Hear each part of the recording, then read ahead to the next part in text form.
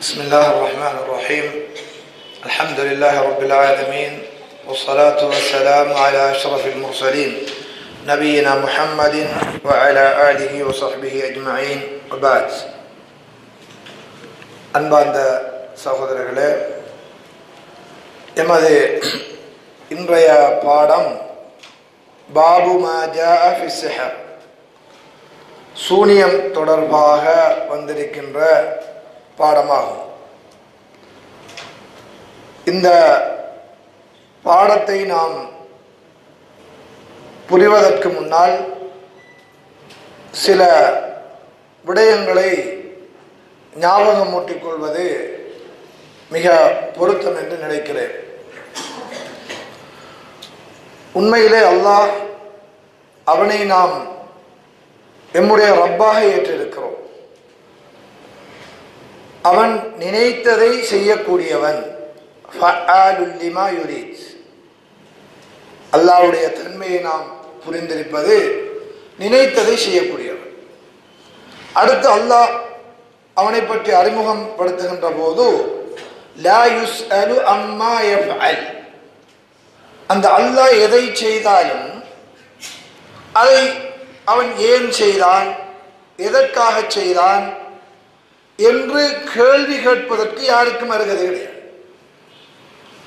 அதை சிந்திக்கவும் கூடாது. அந்த ரப்பு ஏன் செய்தான் அவனுக்கு கேள்வி கேட்கையும் அவன் செஞ்சிருக்க கூடாது அபிப்பிராயம் சொல்லவும் முடியாது.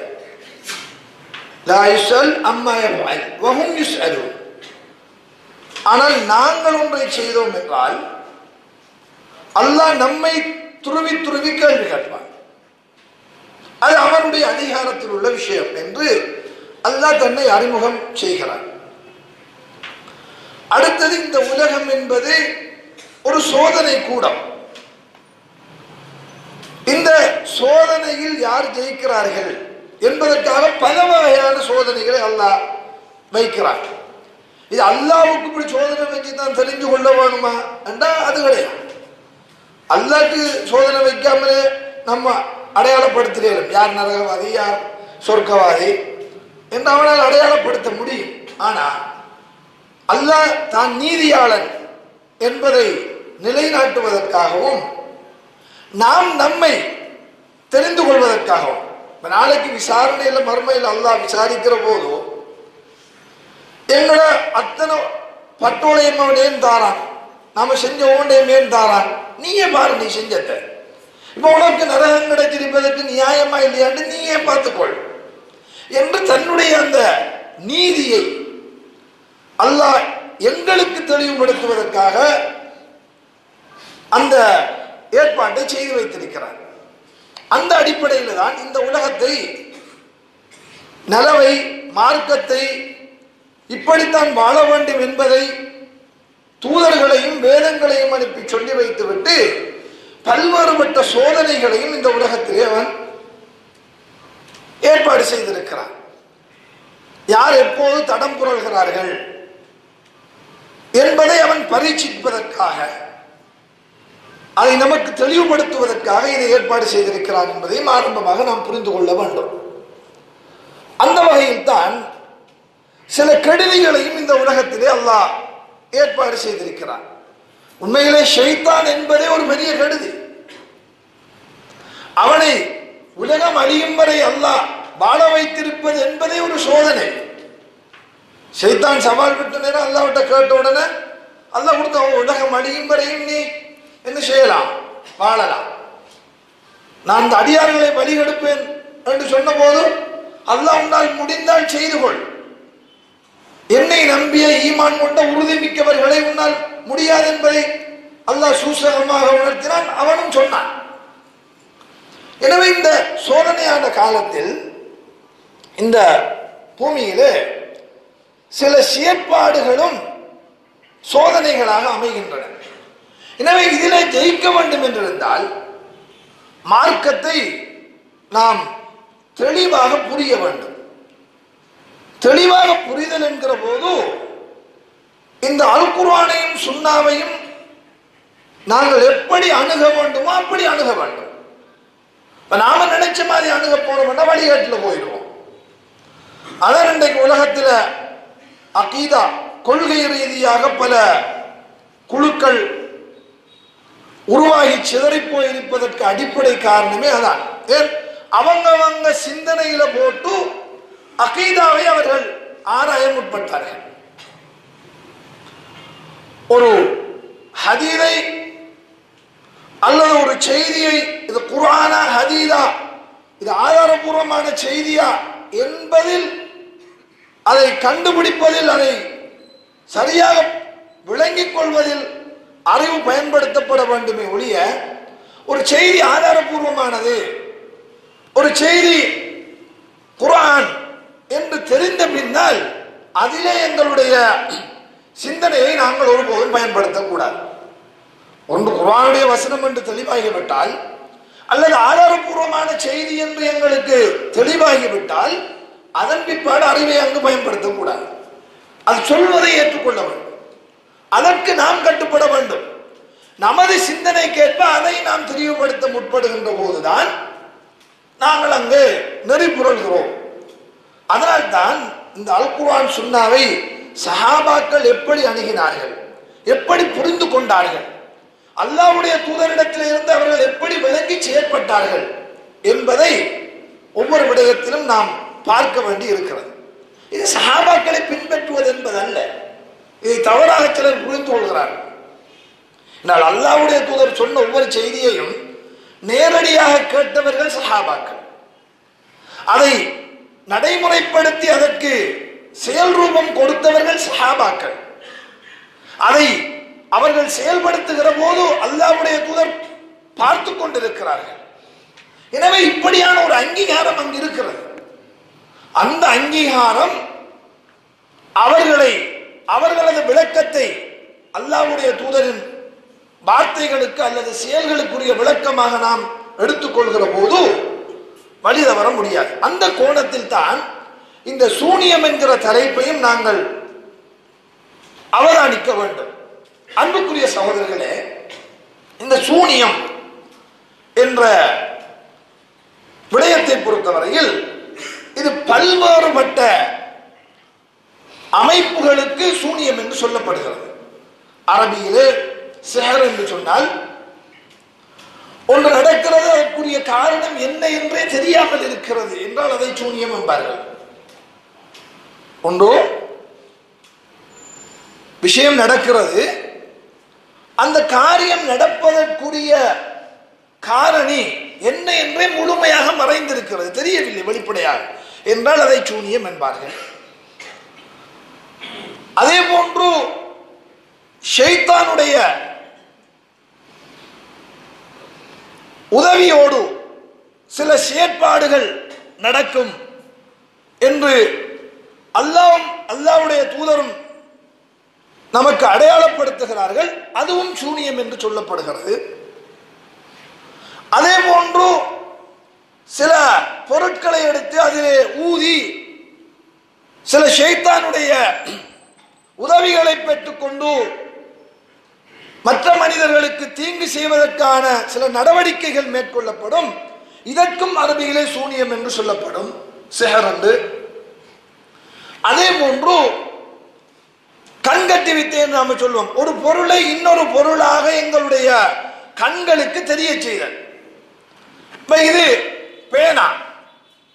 இந்த பேனாவை என்ன இருக்கிற ஒரு வித்தையால எனக்கு அந்த வித்தை தெரியும் வேண்டாம் வேறொரு பொருளாக உங்களுடைய கண்களுக்கு நான் புலப்பட செய்வேன். இது உங்களுக்கு அப்பா அந்த வித்தியாக நான் சில இதுகளை செஞ்சனென்றால் இது பேனாவாக உங்களுக்கு தெரிய மாட்டான். வேறொரு பொருளாக தெரியும். என்னென்னு தெரியணும் என்று நினைக்கணும் அப்படி தெரியும் அந்த வித்தியாக. இதுவும் சூனியம் தான். இது உதாரணமாக குர்ஆன்ல நாங்கள் பார்க்கலாம். மூசா அலை இஸ்லாம் அவர்களுடைய காலத்தில் பிராவுனுடைய சூனியக்காரர்களும் மூசா அலை இஸ்லாம் அவர்களுக்கும் இடையில் நடந்த அந்த போட்டியில் அந்த சூனியக்காரர்கள் செய்தது என்னது? இதைத்தான். சில கயிறு துண்டுகளை போட்டு அதை பாம்பு போன்று கண்களுக்கு புலப்பட செய்தார்கள். அதனால யுஹையலு என்று பாவிக்கான் அதை உருமாற்றி காண்பித்தார்கள். அது வந்து முறியடிக்கிறது இதுவும் சூனியம் தான் இப்படியான பல நடவடிக்கைகளுக்கு அரபியிலே சூனியம் என்று சொல்லப்படும். அதே போன்று நல்ல வார்த்தையால் மக்களை மயக்கி எடுக்கக்கூடிய ஹாஷ்யமாக பேசி மக்களை ஈர்க்கக்கூடிய அந்த நிலைக்கும் சூனியம் என்று சொல்றது அரபியில் ஆனால் பின்னால் பார்ப்போம். எனவே இப்படி இந்த சூனியம் என்பது இருக்குதா இல்லையா என்று நாம் பார்த்தால் அல் குர்ஆனும் சுண்ணாவும் சொல்லுது சூனியம் என்ற ஒன்று இருக்கிறது. இந்த சொன்ன எல்லா சூனியமும் இருக்கு என்று சொல்லுது இஸ்லாம். அது உண்மை என்று சொல்லும் உண்மை என்ன என்ன? இருக்கிறதுங்கிறது உண்மை. அதை நம்பணுமா?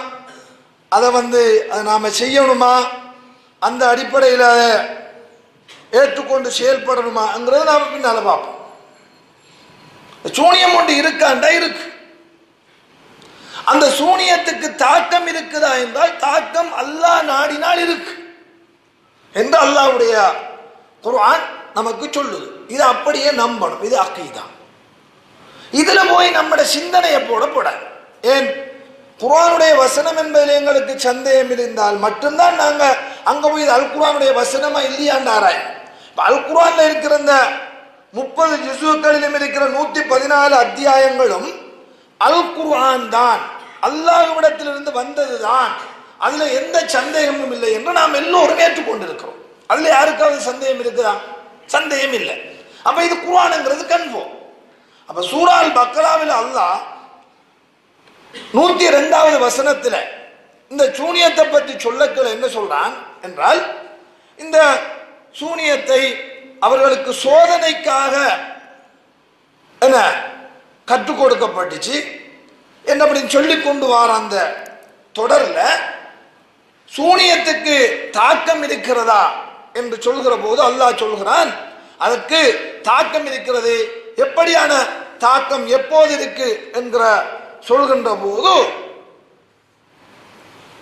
فيتعلمون منهما ما يفرقون به بين المرء وزوجه கணவன் மனைவிக்கு இடையிலே குழப்பத்தை பிரிவினையை இதனால் ஏற்படுத்த முடியும் அப்படின்னு அல்லாஹ் சொல்றான் சொல்லிட்டு பின்னால சொல்றான். வமாஹும் பிவார்ரீன மின் அஹதின் இல்லா பிஇذنில்லாஹ் இந்த தாக்கத்தையும் கூட அவர்களால் எப்போது செய்ய முடியும் என்றால் அல்லாஹ்வுடைய நாட்டம் இன்றி செய்ய முடியாது. அப்ப சூனியம்ங்கிறதுக்கு தாக்கம் இருக்கிறது. அந்த தாக்கம் எப்போது ஏற்படும் என்றால் அல்லாஹ்வுடைய நாட்டம் இருந்தால் தான் ஏற்படும். அப்ப அல்லாஹ் சோதிக்க நாடினால் அந்த நாட்டத்தை அவன் ஏற்படுத்துவான். அல்லாவுடைய குருவான் சொல்கிற இந்த செய்தியை அப்படியே நம்புவது என்பதுதான் நம்மளுடைய கடமை. அது செய்ய முடியுமா? சாத்தியமா? அறிவுக்கு இது புலன்படுகிறதா? அந்த அடிப்படையில் இதை நாம் சிந்திக்கவே முடியாது. நான் அப்படி சிந்திச்சா ஈமானுடைய நிறைய விஷயங்களை நாங்கள் என்ன செய்யணும்? நிராகரிக்க வேண்டி வரும். உதாரணமாக கபருடைய வேதனை. சாரி நாம அதுல வந்து இப்போ கபருடைய வேதனை இருக்கா இல்லையா? கபருன்னு ஒன்று இருக்கு அதில் வேதனை இருக்கா இல்லையா? வேதனை இருக்கு. இப்போ நான் ஒரு ஆள்கிட்ட சொல்கிறேன் வேதனை இருக்குன்னு சொல்கிறேன் நாம் ரெண்டு பேரும் பெட் பிடிப்போம் நீ இருக்குன்ற நிரூபிச்சால் நான் உண்ட மார்க்கத்துக்கு வரேன். இல்லைன்னா நீ ஏண்ட மார்க்கத்துக்கு வரோம்? ரெண்டு போய் கபரை தோண்டி பார்ப்போம் கொண்டு போய் ஒருவன் தோண்டி பார்த்தா என்ன நடக்கும்? இப்படி ஒரு விவாதம் முதலாவது செய்யலாமா நம்ம? உண்மை என்று இஸ்லாம் சொல்லுதோ அது நீ நம்மளோட ஈமான் விட்டு நீ போற. முஸ்லிம்ங்கிற வட்டத்துக்குள்ள இருந்து அங்கால போயிட்டாய். ஏன்னா இப்படி இதுல எல்லாம் டிபேட் பண்ணலாய் டிபேட் பண்ணினா அது நிராகரிப்பு கொண்டு போய் வைக்கும். அங்க தோண்டி பார்த்தா ஒன்றும் இருக்கவும் மாட்டேன். ஏன் அதை பார்க்கின்ற அளவு அல்லது அதை கிரகிக்கின்ற அளவு எங்களுடைய இந்த புலன்கள் இல்லை. சில விஷயம் உண்மையாக நம்ம தோணுறவங்க அவனுக்கு வேதனை நடந்து கொண்டிருக்கிறான். அதை எங்கிற இந்த வெற்றுக்கண்ணுக்கு தெரியாது. அதை இந்த கண்ணால பார்க்க இயலாது. இந்த புத்தியால உணர இயலாது இருக்கு. ஏன் அல்லாவுடைய செயல்கள் என்பது அது உதாரணமோ அல்லது இப்படித்தான் என்றோ சொல்ல முடியாது. அவன் அல குள்ளி ஷெயின் கதியம் அனைத்தின் மீதும் சக்தி உள்ளவன். நமக்கு எது தெரியாமலே எதையும் அவனுக்கு அவன் செஞ்சு முடிக்கக்கூடியவன். அப்ப இந்த நம்பிக்கை ஆழமா நமக்கு இருக்குவான் இது நாங்கள் இந்த விஷயத்தில் புரிந்து கொள்ள வேண்டிய ஒரு செய்தி. அதே போன்று அன்புக்குரிய சகோதரர்களே சூரா அல் பலாக் சூரத்துல் அவ்விதத்தை என்று சொல்லுவோம் அல்லாட்ட நாங்கள் பாதுகாப்பு தர்றதுக்காக ஓதுற சூறாக்கள். குல்லாவுக்கு ரப்பின் நாஸ் குல்லாவுக்கு ரப்பில் பலாக் இந்த குல்லாவுக்கு ரப்பில் பலாக்கில் சில விஷயங்களை அல்லாஹ் சொல்லி இதுல இருந்தெல்லாம் பாதுகாத்து விடண்டு நாம பாதுகாப்பு தேடுற முறையை சொல்றான்.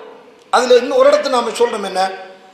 மின் ஷர்வின் நஃபாதாத்தி மின் ஓகாத் யா முடிச்சுகளில் ஊதக்கூடிய அந்த பெண்களுடைய தீங்குகளிலிருந்தும் என்னை பாதுகாத்து விடுன்னு கேட்கிறோம். இது சூனியம் தானே? சூனியம் என்கிறது இந்த வகை சூனியம் தான் நபி ஸல்லல்லாஹு அவர்களுக்கு செய்யப்பட்ட சூனியம்.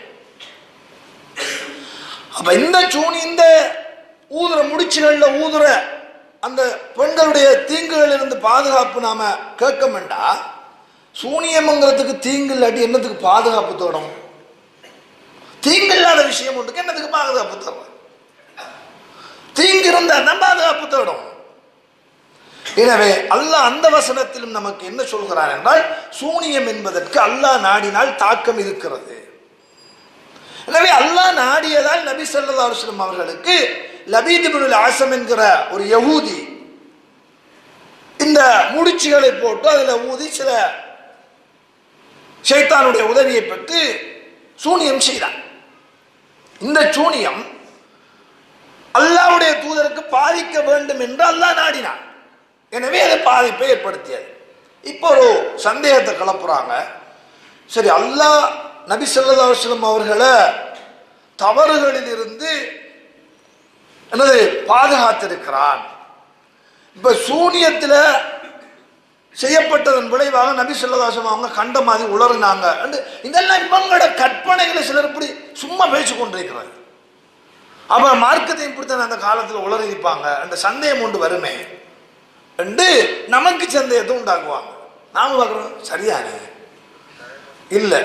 கண்ணியத்துக்குரிய சகோதரர்களே ஹதீதுகளில் தெளிவாக வருது.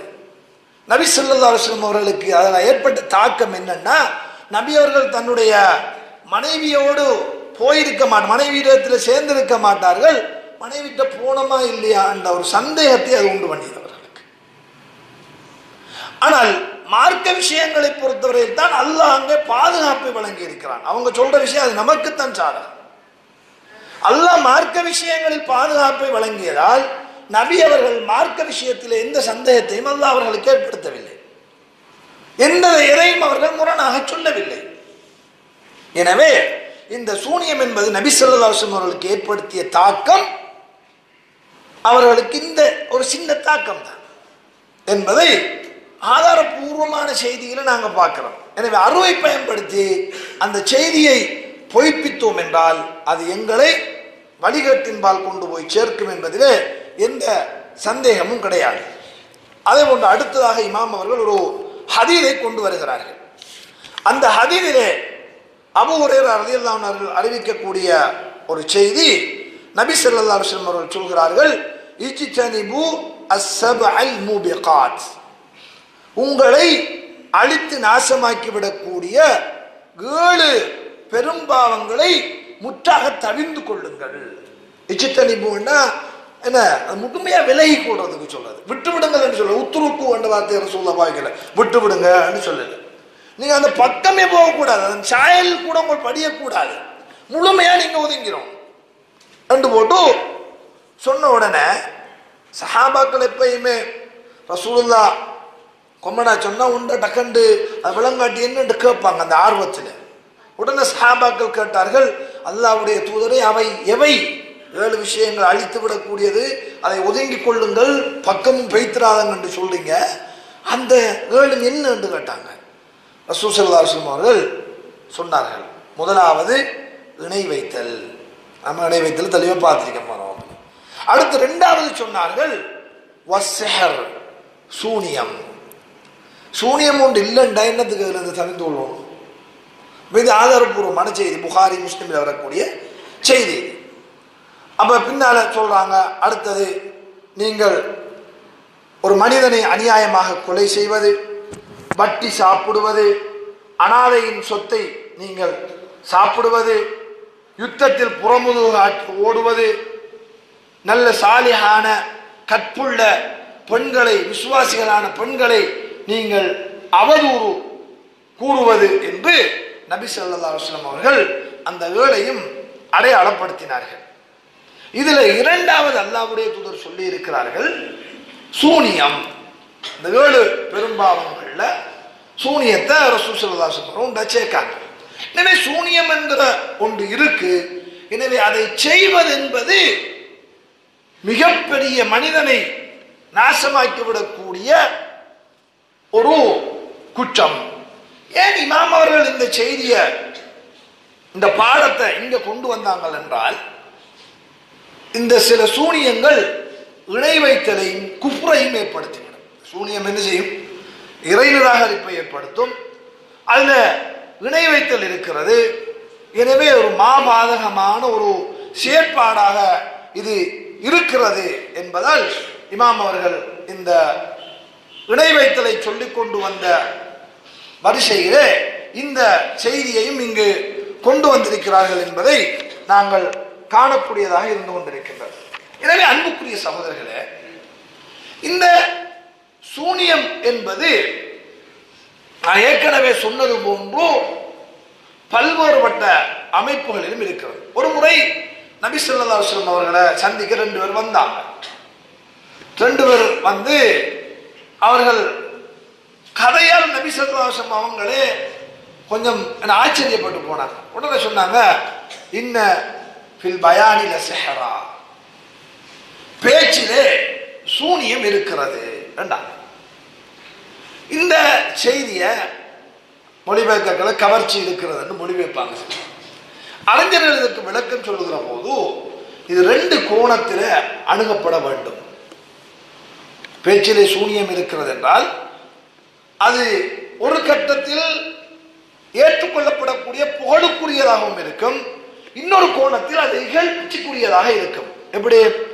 ஒரு மனிதனுக்கு அல்லாஹ் கொடுத்திருக்கிற நாவன்மை என்பது அது மனிதர்களை மயக்கி சூனியமாக்கி அதை சூனியப்படுத்தக்கூடிய தன்மை கொண்டது. இதனால் ஒருவன் உண்மைக்காக இதை பயன்படுத்தினால் அந்த இடத்தில் அந்த கவர்ச்சி என்பது நல்லதாக அமையும். அல்லது இந்த நாவன்மையால் அவன் மக்களை அப்படியே கவர்ந்து தவறின்பால் கொண்டு போய் வைப்பான் என்றிருந்தால் இந்த நேரத்தில் இந்த பேச்சு என்பது இந்த தடுக்கப்பட்ட சூனியம் என்ற நிலையில் போய் சேரும் என்று அறிஞர்கள் இதற்கு விளக்கம் அளிக்கிறார்கள். அதனால் தான் இமாம் அவர்கள் அந்த ஹதீதையும் இங்கே கொண்டு வருகிறார்கள். வெறுமனே பேச்சிலே கவர்ச்சி இருக்கிறது என்றால் அதனால தானே பேச்சு கவர்ச்சி கவர்ச்சியாக தானே இருக்கும். அப்ப இங்கே அது தேவையில்லை தானே? அதை அல்ல இங்க ரபிசுல்லாசம் அவர்களுடைய இந்த ஹதீதிலிருந்து அறிஞர்கள் விளக்கம் கொடுக்கிற போது சொல்கிறார்கள் கவர்ச்சியாக நல்லதின்பால் பேசினால் அது ஓகே பிரச்சனை கிடையாது. அது வரவேற்கத்தக்கது. அப்படித்தான் பேச வேணும் அது பேச்சாளர்களுக்கு இருக்க வேண்டிய ஒன்று. ஆனால் அதே நேரத்தில் இந்த பேச்சு கெடுதியை நோக்கி ஆகிவிடக்கூடாது. அதான் இன்றைக்கு நடக்குது. இந்த சூனிய விஷயத்துல கூட என்ன தனக்கிட்ட இருக்கிற நல்ல ஆளுமைகளை பேச்சாற்றல்களை கவர்ச்சியை வைத்துக் கொண்டு இந்த மார்க்கத்தில் அல்லாஹ் மகன் தூதரும் இருக்கு என்று சொன்ன ஒன்றை இல்லை என்று நிறுவுவதற்காக பயன்படுத்தப்படுகின்ற ஒரு நிலையை நாங்கள் பார்க்கிறோம். சந்தேகங்களை எழுப்பி அறிவு ரீதியாக மக்களை இப்படி சிந்தியுங்கள் என்று தேவையற்ற விதத்திலே திசை திருப்பி முறையற்ற முறையில் அவர்களை சிந்திக்க வைத்து இந்த நாவன்மையை அதற்காக பயன்படுத்துகின்ற ஒரு நிலையை பார்க்கிறோம். இது இந்த சூனியத்தை போன்று ஒரு தடுக்கப்பட்ட ஒரு விடயம் இந்த பேச்சு என்பதை இமாம் அவர்கள் இந்த செய்தியை கொண்டு வந்து இங்கே நிறுத்துவதை நாங்கள் பார்க்கிறோம். எனவே அன்புக்குரிய சகோதரர்களே சூனியம் என்பது கற்றுக்கொள்வதற்கோ அதை கற்றவர்கள் செயல்படுத்துவதற்கோ தடுக்கப்பட்ட ஹராமான குபுரை உண்டாக்கக்கூடிய விஷயம் என்பதை இதிலிருந்து நாங்கள் புரிந்து கொள்கிறோம் எனவே இதில் நாம் தெரிந்து கொள்ளக்கூடிய சுருக்கம் என்னென்றால் ஒன்று சூனியம் என்கிற ஒன்று இருக்காண்டா இருக்கு. அதை குர்ஆன் சொன்னாலும் சொல்லும். ரெண்டாவது சூனியத்துக்கு தாக்கம் இருக்குதா என்றால் அல்லாஹ் நாடினால் அதற்கு தாக்கம் உண்டு என்று நாங்கள் நம்ப வேண்டும். மூன்றாவது இந்த சூனியத்தை கற்பது என்பது குஃபுரை ஏற்படுத்தும். அதை அந்த அறிவு எவருக்காவது இருந்தால் அதை அவர்கள் விட்டுவிட வேண்டும். செயல்படுத்தினால் அது குப்புறையும் சில போது இணை வைத்தலையும் ஏற்படுத்தி விடுகின்ற ஒரு மாபாதக செயலாக இருக்கும். ஐந்தாவது நாம் தெரிய வேண்டிய விஷயம் இந்த விடயங்களிலே நாங்கள் விவாதிப்பது என்பது அல்லது இதை செய்து காட்டுங்கள் பார்ப்போம் என்று சொல்வது என்பது அறிவீனமாகும். கபரிலே இருக்கின்ற வேதனையை நிரூபித்து காட்டுங்கள் என்று சொல்வது போன்ற சொன்னால் அவனை எப்படி நாம் பார்ப்போமோ என்ன நிலையில் அவன் போய் சேருவானோ அது போன்ற ஒன்றுதான் சூனியம் இருக்கு என்றால் செய்து பார்க்குங்கள் எனக்கு தாக்கத்தை ஏற்படுத்தி காட்டுங்கள் என்று ஒருவன் சவால் விடுகிறான் என்றால் அந்த சவால் என்பது இந்த குரானுடையவும் சுண்ணாவுடையவும் இந்த செய்திகளுக்கு விடுக்கப்படுகின்ற சவாலாகும். இது மறைமுகமான அல்லாவுடைய இந்த ஈமானிய விஷயங்களை சவால் விடுப்பது போன்ற ஒன்றாகும் என்பதை நாங்கள் புரிந்து கொள்ள வேண்டும். இறுதியாக இமாம் அவர்கள் இதிலே சொல்கிற ஒரு செய்தியை கூறி இன்றைய வகுப்பை நாம் முடித்துக் கொள்வோம்.